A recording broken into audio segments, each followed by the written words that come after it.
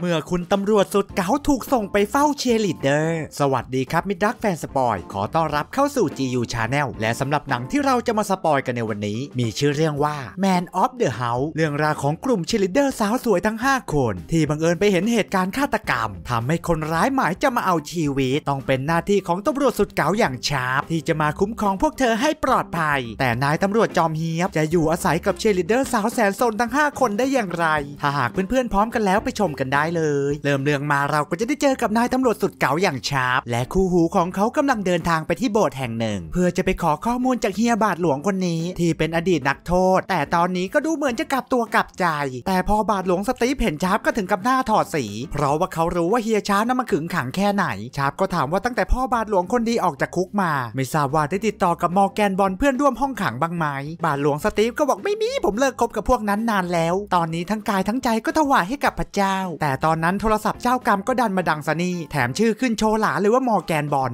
อย่าโทรมาตอนไหนไม่โทร สตีฟก็เลยคว้าโทรศัพท์แล้วก็วิ่งหนีออกไป แต่ด้วยความอ้วนเบาหวานก็เลยวิ่งหนีไปได้ไม่ไกล วิ่งมาเจอคอกวัวมันก็เลยจัดการซ่อนมือถือ ชาร์ปกับคู่หูเดินตามมาถึงก็บอกให้มันส่งมือถือมา มันก็แกล้งบ้าบอกมือถืออะไรไม่เห็นรู้เรื่อง แต่ตอนนั้นเสียงริงโทนก็ดังกุ้งกิ้งออกมาจากตูดของวัว เฮียชาร์ปของเราไม่หวั่นแม้วันต้องล้วงขี้ จัดการใส่ถุงมือทะลวงตูดน้องวัวไปหยิบมือถือออกมา แล้วก็สั่งให้ไอ้สตีฟรับโทรศัพท์ซะ เมื่อได้หลักฐานหน่วยตำรวจก็บุกไปจับตัวมอร์แกนบอลแต่ไอ้บักผู้ร้ายคนนี้ก็ขัดขืนทำการต่อสู้ แต่สุดท้ายด้วยความเก๋าของเฮียชาร์ปก็สามารถต้อนมันจนจนมุม ไอ้มอร์แกนก็พยายามติดสินบน บอกว่ามันไปให้การไม่ได้ ไม่อย่างนั้นคอแลนตัวการใหญ่ก็จะเอามันตายแน่ แต่นายตำรวจตงฉินอย่างชาร์ปก็ไม่สนใจ จับกลุ่มตัวมันออกมาด้านนอก ตอนนั้นเขาก็ได้เจอกับไอ้เอ็ดดี้ตำรวจหนุ่มจาก FBI ที่ดูเหมือนจะรู้จักกับชาร์ปมาเป็นการส่วนตัว และแล้วตอนนั้นเราก็จะเห็นว่ามีมือปืนคนหนึ่งกำลังจะยิงปิดปากไอ้มอร์แกน มันสาดกระสุนลงมาโดนไอ้มอร์แกนและคู่หูของชาร์ปทำให้เธอได้รับบาดเจ็บสาหัสส่วนไอ้มอร์แกนได้ทีวิ่งหนีการจับกลุ่มต่อไป ชาร์ปกับเอ็ดดี้ก็วิ่งไล่ตามมันมาติดๆไอ้มอร์แกนก็วิ่งหนีผ่านเข้าไปในตึกที่มีการแข่งขันเชียร์ลีดเดอร์ ตอนนั้นมันบาดเจ็บและไปนั่งหมดแรงอยู่หลังตึกเป็นขณะเดียวกับที่สาวๆเชียร์ลีดเดอร์กำลังเตรียมตัว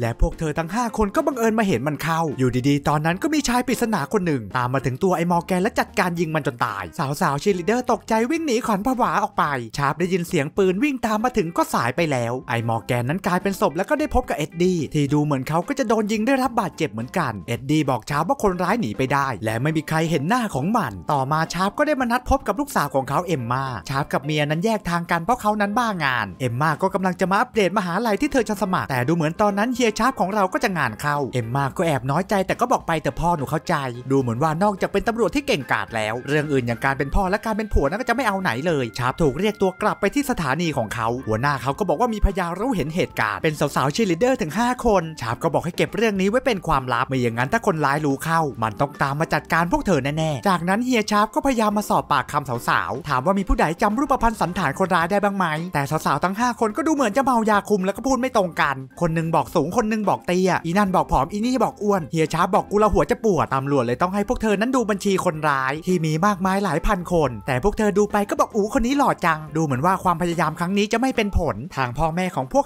สาวๆ ก็โทรไปบอกผู้ว่าประจำเมือง ว่าให้ดูแลลูกๆของพวกเขาให้ดีอย่าให้มีอันตรายเฮียชาร์ปและลูกทีมก็เลยต้องรับบทเป็นบอดี้การ์ดดูแลความปลอดภัย 5 สาวทุกฝีก้าวเข็มขัดไม่รัดกูก็ไม่ออกรถเฮียชาร์ปเนี่ยเขาเจ้าระเบียบจริง ๆ ต่อมาเราก็จะเห็นว่าไอ้คอตแลนด์ผู้ร้ายตัวจริง หลุดรอดจากคดีไปได้เพราะว่าไม่มีพยาน และตอนนั้นมันก็ได้โทรหาใครคนหนึ่ง และคนนั้นก็คือไอ้เอ็ดดี้ตำรวจ FBI แท้จริงแล้วอีห่านี่นี่เองที่เป็นมือปืน มันสั่งให้เอ็ดดี้ตามเก็บสาวๆเชียร์ลีดเดอร์ที่เห็นเหตุการณ์ขืนปล่อยไว้มีหวังไปโดนจับเข้าคุกแน่ๆต่อมาชาร์ปและลูกทีมของเขาก็มาประจำการอยู่ที่บ้านของสาวๆ จัดการติดกล้องและเครื่องดักฟังทุกจุดเพื่อรักษาความปลอดภัยอย่างเต็มกำลัง ชาร์ปนั้นจะอาศัยอยู่กับพวกสาวๆ ส่วนพวกมึงพลังหนุ่มไปอยู่บ้านตรงข้าม สาวๆ มาถึงบ้านได้ก็เปลี่ยนชุดโชว์สะดือ แต่ละคนก็คือลือกันพอสมควรตำรวจหนุ่มก็น้ำลายหกอยากจะเอาหน้าหมกร่อง ตอนนั้นเฮียชาร์ปของเราก็เริ่มออกกฎระเบียบ จัดการยึดเครื่องมือสื่อสารทุกชนิดจะใช้ได้ก็ในกรณีฉุกเฉินเท่านั้น แล้วเฮียชาร์ปของเราก็ขอร้องให้พวกเธอนั้นแต่งตัวให้เรียบร้อย ไม่อย่างนั้นลูกน้องกูไม่มีสมาธิทำงานแน่นอน และเขายังสั่งห้ามให้พวกเธอนั้นออกนอกบ้าน แล้วก็ห้ามพาใครมาบ้านอีกด้วย จะออกไปไหนได้ก็ต้องมีคนคุ้มกันเท่านั้น ทั้งหมดก็เพื่อความปลอดภัยของตัวพวกเธอเอง แต่สาวๆ ก็ไม่เข้าใจบอกนี่กูติดคุกหรือไง แต่แม่สาวแอนนี่หัวหน้าทีมเชียร์ลีดเดอร์ก็บอกว่าจะห้ามไปไหนก็ห้ามได้ แต่จะมาห้ามพวกเราไม่ให้ออกไปเชียร์เฮียก็ต้องข้ามศพพวกเราไปก่อนเฮียชาร์ปของเราจึงต้องปลอมตัวเป็นผู้ช่วยโค้ชเพื่อมาดูแลความปลอดภัยให้กับสาวๆที่สนามกีฬา ตอนนั้นเฮียก็สังเกตเห็นทีมมาสคอตไอ้ฝั่งตรงข้ามควักปืนออกมาจะยิงสาวๆแต่ก็โดนเฮียชาร์ปของเราจับชก slam คอแทบหักมันก็บอกขอโทษครับนี่มันแค่ปืนฉีดน้ำก็เลยได้ภาพกีฬามันๆไปเลยงานนี้ วันต่อมามาเฮียชาร์ปของเราก็ต้องไปอารักขาสาวๆถึงในห้องเรียน และดูเหมือนเฮียชาร์ปของเรา ก็จะเกิดปิ๊งปังอาจารย์สาวสวยอย่างมอลลี่ หลังจากเลิกเรียนอาจารย์มอลลี่ก็เรียกชาร์ปเข้ามา เพราะนึกว่าเขาเป็นผู้ช่วยโค้ชทีมเชียร์ลีดเดอร์ก็มารายงานความประพฤติของอีน้องบาสคนนี้ ซึ่งดูเหมือนเธอจะโหลดงานจากอินเทอร์เน็ตมาส่งเฮียชาร์ปของเราก็เลยต้องมาเคี่ยวเข็นให้เธอนั้นทำรายงานเองนี่กูเป็นตำรวจหรือกูเป็นพ่อ ต่อมาคืนนั้นระหว่างที่สาวๆกำลังทำสลัดแดกต้องรักษาหุ่นให้ดูดี ส่วนเฮียชาร์ปของเรานั้นสั่งพิซซ่ามาแดกพอพิซซ่ามาส่งเขาก็สั่งให้เด็กนั้นวางถาดลงกับพื้นถอยหลังไปสองก้าวแล้วเอามือวางไว้บนศีรษะ เด็กส่งก็งงนี่กูส่งพิซซ่าหรือโดนตรวจยา เด็กส่งมองเข้าไปในบ้านก็เห็นสาวแจ่มอยู่มากมาย แล้วก็อดไม่ได้ที่จะบอกแหมเฮียนี่คือไอดอลผมเลย ต่อมาชาร์ปก็มานั่งกินพิซซ่าต่อหน้าสาวๆที่กำลังกินสลัดผักจิตใจเฮียนี่มันช่างโหดร้ายจริงๆ ระหว่างทานข้าวพวกเขาก็ได้คุยกัน ส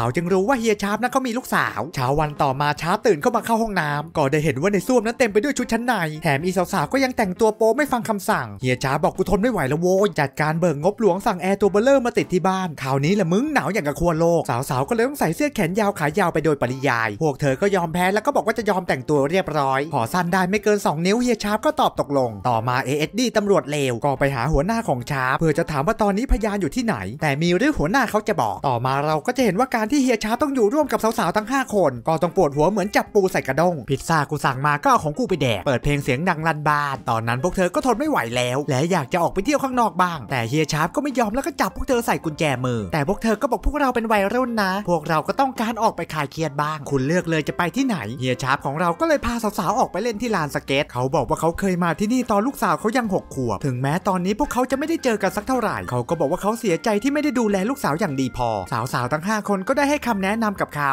วันต่อมาก็มีชายอีกคนนึงถูกฆาตกรรม ชาร์ปก็เลยเอาไปถามบาทหลวงสตีฟว่าเขารู้จักคนนี้ไหม สตีฟก็บอกว่ารู้จักเพราะเคยอยู่คุกเดียวกัน และตอนนั้นบาทหลวงสตีฟก็ได้ทักทายสาวๆเชียร์ลีดเดอร์ เพราะถึงแม้จะหุ่นแบบนี้ เขาก็เคยเป็นอดีตเชียร์ลีดเดอร์เหมือนกัน ไอ้สตีฟก็ได้เล่นใหญ่จัดไปเปลี่ยนเสื้อผ้า แล้วก็ออกมาท้าสาวๆเต้นประชัน สาวๆก็เต้นสู้จัดไปอย่าให้เสีย เดี๋ยวจะเสียชื่อเฮียชาร์ปเต้นจนหอบแดกก็กลับมาถึงบ้าน คืนนั้นชาร์ปก็ได้ทำตามคำแนะนำของสาวๆ ก็ได้โทรหาเอมมาลูกสาวของเขา แต่โทรไปก็ได้แต่ฝากข้อความ เขาก็ได้บอกลูกสาวเขาว่าคิดถึง ดูเหมือนว่าเขาจะเริ่มได้รับความอ่อนโยนจากพวกสาวๆมาบ้างแล้ว ต่อมาเฮียชาร์ปก็ออกไปซื้อของให้พวกสาวๆที่ซูเปอร์แล้วก็ไปยืนงงในดงผ้าอนามัย แต่ก็โชคดีที่ได้เจออาจารย์มอลลี่ เธอก็แนะนำเขาให้ซื้อแบบมีปีกอาจารย์มอลลีดูเหมือนจะถูกใจเฮียชาร์ปชวนเขาไปแดกข้าวแต่เฮียชาร์ปก็ตอบปฏิเสธอย่างไว แต่เขาก็รู้สึกผิดก็เลยเดินตามเธอออกมา และชวนเธอให้มาทานดินเนอร์ที่บ้านของเขา แต่พอเฮียชาร์ปกลับไปถึงบ้านก็ปรากฏว่ามีสองสาวหนีออกไปแทงพูลเดือดร้อนกูต้องออกไปตาม ตอนนั้นสาวๆมีไอ้หนุ่มเดินเข้ามาจีบแต่พอพวกเธอไม่เล่นด้วยมันก็จะหาเรื่องเธอ โชคดีที่ชาร์ปตามไปช่วยไว้ได้ทัน ก็จัดการอัดพวกมันซะเละต่อมาพวก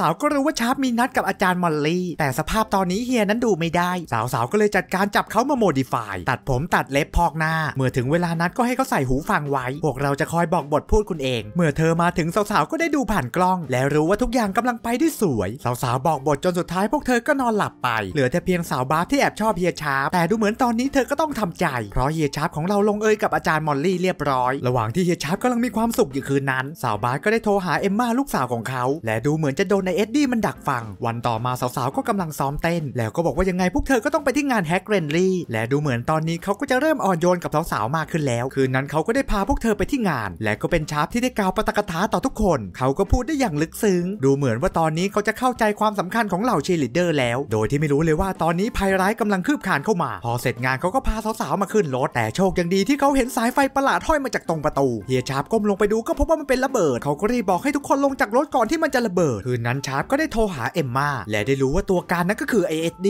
มันสั่งให้ชาร์ปเอาเงินและหลักฐานทุกอย่างมาคืน ไม่อย่างนั้นมันจะฆ่าลูกสาวเขาสาวๆก็บังเอิญได้ยินสิ่งที่พวกเขาคุยกัน วันต่อมาชาร์ปก็ตั้งใจที่จะออกไปลุยเดี่ยว เขาก็ทำตามที่มันสั่งทุกอย่างเพื่อความปลอดภัยของลูกสาว แต่พอ ไอ้เอ็ดดี้ มันกำลังพาตัวลูกสาวของเขาไป เขามองไปที่รถประจำทางที่กำลังมุ่งหน้าไปที่เม็กซิโก ก็ได้เห็นว่าพวกสาวๆเชียร์ลีดเดอร์นั่นแอบมาช่วยเขาเฮเธอร์ก็ได้มาช่วยปลดล็อกกุญแจมือ และขับรถของเธอตามไป ระหว่างนั้นสาวๆที่แฝงตัวอยู่ในรถบัสก็แกล้งเล่นละครบอกว่าลูกกูจะคลอด แล้วก็บอกให้โชเฟอร์นั้นจอดรถ เธอก็แกล้งทำเป็นจะหยิบกระเป๋าของไอ้เอ็ดดี้มา ตอนนั้นพอมันเผลอคนที่เหลือก็ได้ช่วยเอมมาออกมาได้ไอ้เอ็ดดี้มันก็ได้ไล่ทุกคนลงจากรถแล้วก็ขับรถมุ่งหน้าสู่ชายแดนเม็กซิโก ตอนนั้นเฮียชาร์ปก็ตามมาถึง และได้เห็นว่าลูกสาวของเขานั้นปลอดภัยถึงเวลาที่กูต้องไปชำระแค้นเขาซิ่งรถเต่าสุดน่ารักมุ้งมิ้ง ตามไปล่าตัว ไอ้เอ็ดดี้ เฮียชาร์ปจัดการยิงยางของมันจนรถมันคว่ำและเดินไปตามล่าตัวมันแบบคูลๆ ไอ้เอ็ดดี้ มันก็พยายามเดินกระเผลกไปถึงชายแดน แต่ตอนนี้ตำรวจเม็กซิโกก็ปิดด่านไว้หมดแล้ว ชาร์ปก็บอกให้มันนะมอบตัวอย่าทำอะไรโง่ๆแล้วก็เกิดสถานการณ์ดวลปืนแบบคาวบอยเฮียชาร์ปของเราก็ได้โชว์เหนือ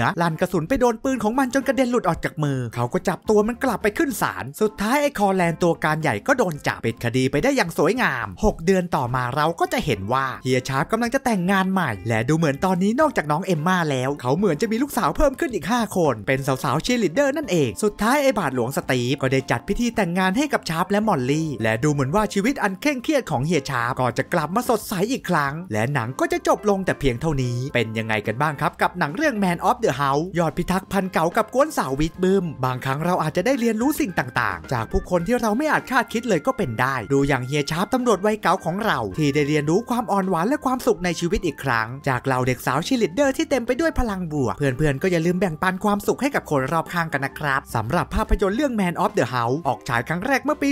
2005 ได้คะแนนจากเว็บ IMDB ไป 5.4 คะแนน ถ้าสนุกถูกใจก็อย่าลืมกดไลค์กดแชร์กด Subscribe และกลับมาพบกับ GU Channel ได้ใหม่ในตอนถัดไปสำหรับวันนี้ลาไปก่อนสวัสดีเด้อ No, no, neck,